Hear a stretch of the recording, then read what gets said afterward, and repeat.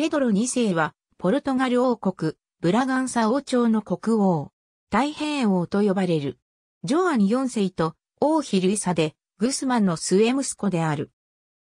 ポルトガルがスペインから独立を承認された直後の1668年、ペドロは精神を病んだ兄王アフォンソ6世の摂政王太子となった。ペドロは兄王を幽閉し、1683年に兄王が崩御するとペドロ2世として王位についた。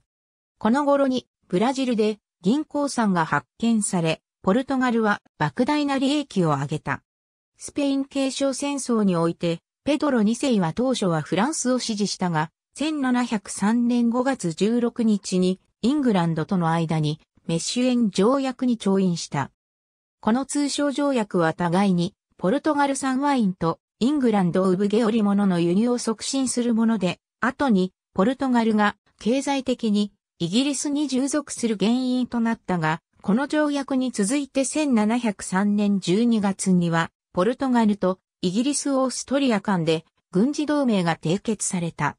ペドロ2世は兄から王位を継いだだけでなく、兄の王妃であったサボヤ家母系出身のマリア・フランシスカ・イザベルと結婚した。